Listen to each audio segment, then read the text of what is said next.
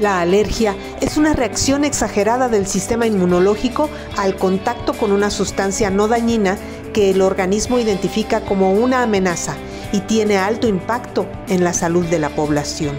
Más o menos el 25% de la población mexicana padece alguna enfermedad alérgica. La rinitis y el asma, el 80% tiene esta causa alérgica.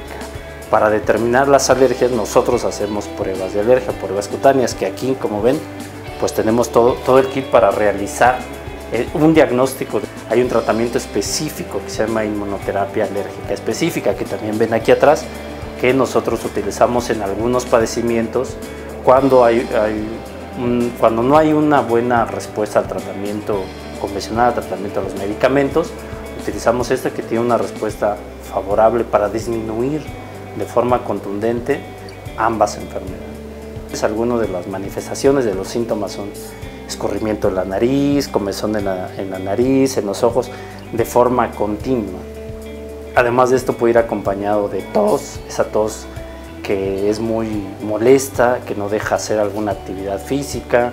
Además puede llegar a tener de tos falta de aire, que no puede también dificulta hacer su actividad física y terminando con, con un silbidito, que son síntomas muy este, comunes de asma de la rinitis. Cualquiera de estos dos síntomas que se tengan deben de acudir con, pues, en el caso del ISTE, a la unidad de medicina familiar para que sean valorados. Gobierno de México.